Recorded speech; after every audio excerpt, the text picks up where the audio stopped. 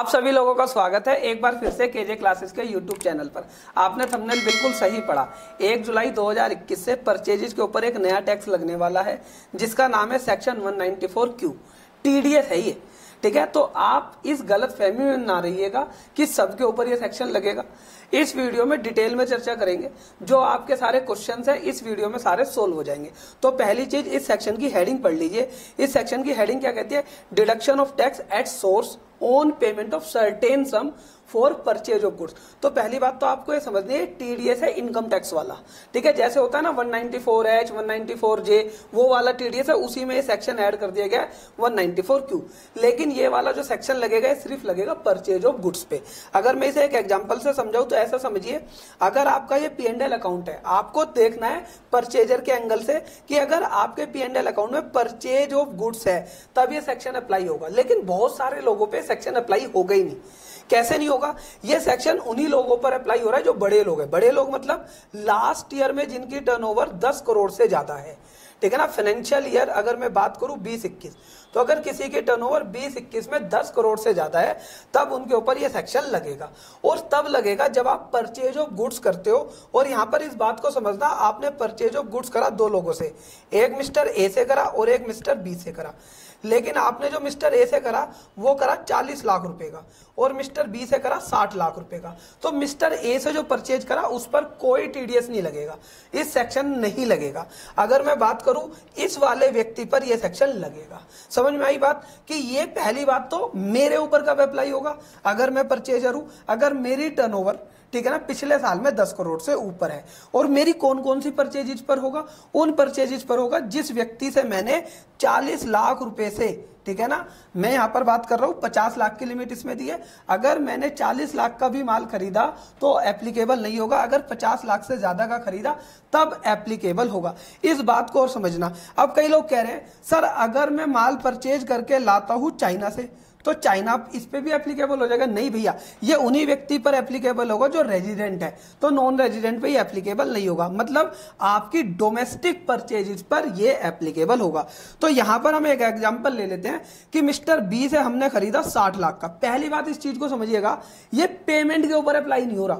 कई लोग कह रहे हैं, सर, मेरी बैलेंस शीट में मेरा एक क्रेडिटर खड़ा हुआ है, मेरा एक क्रेडिटर खड़ा हुआ है, जिसकी मुझे सत्तर लाख की पेमेंट करनी है। भैया, अगर आपका एक क्रेडिटर खड़ा हुआ है ना, तब इस पर यह सेक्शन नहीं लगेगा। अगर आपने फाइनेंशियल ईयर अगर आपने फाइनेंशियल ईयर ठीक है ना 21 22 में उससे अगर परचेज करी है, अगर उससे परचेज करी है, कितने लाख रुपए से ज़्यादा की?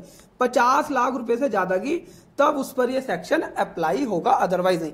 अब एक व्यक्ति कह रहा है, सर, मैंने फाइनेंशियल ईयर 21-22 में अप्रैल से लेकर जून तक। कब से जी? अप्रैल से लेकर जून तक, जब तक ये सेक्शन आया ही नहीं। मैंने 80 लाख की परचेज कर ली। क्या मेरे ऊपर भी अप्लाई होगा? नहीं भाई, ये तेरे ऊपर अप्लाई नहीं होगा। लेकिन इस बात को समझ लेना, अगर तुमने अप्रैल से जून में 80 लाख की परचेज कर ली, मिस्टर एक्स से और एक जुलाई से ये सेक्शन अप्लाई हो गया। अगर आप मिस्टर एक्स से अब कुछ भी परचेज करोगे, मान लो पाँच लाख रुपए का कुछ भी परचेज कर लेते हो, तब भी आपके ऊपर ये सेक्शन लग जाएगा। मतलब ये पचास लाख की लिमिट है ना, ये पूरे फाइनेंशियल ईयर 21-22 के लिए देखनी है। चाहे वो आपने अप्रैल से जून में ले ली हो या आप उसे जुलाई के बाद ले रहे हो। अगर आपने अप्रैल से जून में किसी से खरीदा तीस लाख का माल तो अगर एक जुलाई 2000 ठीक है, एक जुलाई 2021 के बाद जैसे ही आप 20 लाख का सामान और खरीदोगे तो आपके ऊपर ये सेक्शन लग जाएगा। अब ये लगता कैसे इस बात को समझना। इस सेक्शन में लिखा हुआ है ड्यू और payment whichever is earlier मतलब कि माल आ गया, आपने उसकी पेमेंट करो या ना करो। आपको टीडीएस काट कर जमा कराना है। कैसे जमा कराना है जी? अगर आपने उसका जो अकाउंट है, उससे 50 लाख से ऊपर की परचेज कर ली होगी तो आपको टीडीएस काट कर हर सात तारीख को जमा कराना है।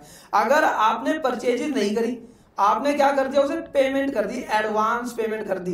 तब भी ये सेक्शन लग जाएगा। एडवांस पेमेंट पे कैसे लग जाएगा सेक्शन भैया, आप यहाँ पर इस चीज़ को समझना कि अगर आप पेमेंट कर रहे हो या क्रेडिट कर रहे हो विच एवर इज़ अर्लियर तो अगर आप किसी को एक करोड़ की पेमेंट कर देते हो तो उसके ऊपर भी ये वाला सेक्शन लग जाएगा एडवांस के बेसिस पर। अब हमारा अगला क्वेश्चन ये आता है कि सर, इस वाले केस में जीएसटी का क्या होगा? मतलब क्या बात है कि भाई, अगर आप परचेज कर कर लाते हो, मान लो मिस्टर एक्स से। अब मिस्टर एक्स ने परचेज का, सेल का बिल बनाया। उसने सेल का बिल बनाया एक करोड़ रुपए का और उस पर जीएसटी लगाया। उस पर जीएसटी लगाया अट्ठारह लाख रुपए। तो सर, हमें टीडीएस जो काटना है, कितने परसेंट काटना है? ज़ीरो पॉइंट वन परसेंट काटना है। ठीक है ना? वन परसेंट का दसवा हिस्सा। Zero point one percent. तो सर, किस अमाउंट पे काटेंगे हम जीएसटी तो भैया, इस बात को समझ लो, यहाँ पर क्लैरिफिकेशन कुछ नहीं है। तो यहाँ पर जो जीएसटी कटेगा, वो एक करोड़ अट्ठारह लाख पर कटेगा। अगर इसके अंदर कुछ और भी इंसिडेंशियल एक्सपेंसिज होंगे तो उस पर भी कटेगा। मैं ऐसा इसलिए कह रहा हूँ, क्योंकि यहाँ पर लिखा हुआ payment of certain sum for purchase of goods. यहाँ पर जीएसटी की बात ही नहीं की गई। उन्होंने कहा, जितना आप सम पेड करोगे, जितना सम आप क्रेडिट करोगे, उस पर जीएसटी घटेगा। ये वाली बात क्लियर हो गई या नहीं हो गई? तो ये 194 क्यू ऐसा सेक्शन है, जो आपको मैंने पूरा क्लियर करा दिया। अगर आपको अभी भी कोई डाउट है तो हमारा इस संडे हाँ जी, इसी संडे की बात करो 20 जून को। 20 जून को हमारा वेबिनार है, शाम को तीन से छह बजे तक। परवीन बंसल जी आएँगे और मैं, दोनों लोग आपको इस सारे सेक्शन के बारे में बताएँगे।